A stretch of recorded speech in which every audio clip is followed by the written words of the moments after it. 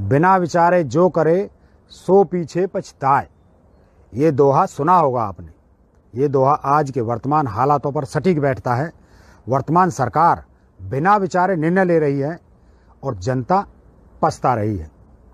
अपनी ही माँ की ममता की मार्केटिंग करने वाला, शादी करके लाई औरत को बिना कारण छोड़ देने वाला और बेऔलाद आदमी पूरी कैबिनेट को मधुआ मजदूर बनाने वाला प्रधानमंत्री और देश की राजधानी में आग लगवाने वाला गृह मंत्री इनमें जरा भी अकल होती तो निर्णय लेने से पहले परिणामों की समीक्षा करते।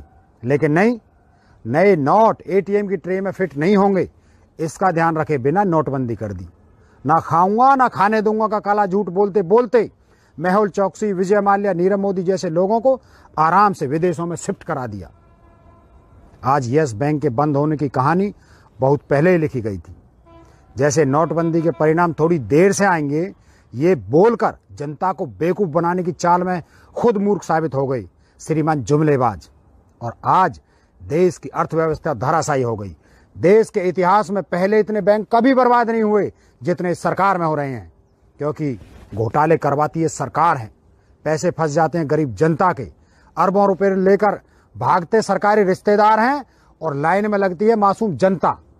आपको बताते हुए मेरे रोंगटे खड़े हो रहे हैं कि अभी अभी राज्यसभा के एक सांसद ने जानकारी दी कि रिलायंस ग्रुप पर एक लाख पच्चीस हज़ार करोड़ रुपए, मेदांता ग्रुप पर एक लाख तीन हज़ार करोड़ रुपए, एसआर ग्रुप पर एक लाख एक हज़ार करोड़ रुपए, अडानी ग्रुप पर छियानवे हज़ार करोड़ रुपए, जेपी ग्रुप पर पिछहत्तर हज़ार करोड़ रुपए, जेएसडब्ल्यू ग्रुप पर अट्ठावन हज़ार करोड़ रुपए, जीएमआर ग्रुप पर सैतालीस हज़ार करोड़ रुपए, लेको ग्रुप पर सैतालीस हज़ार करोड़ रुपए।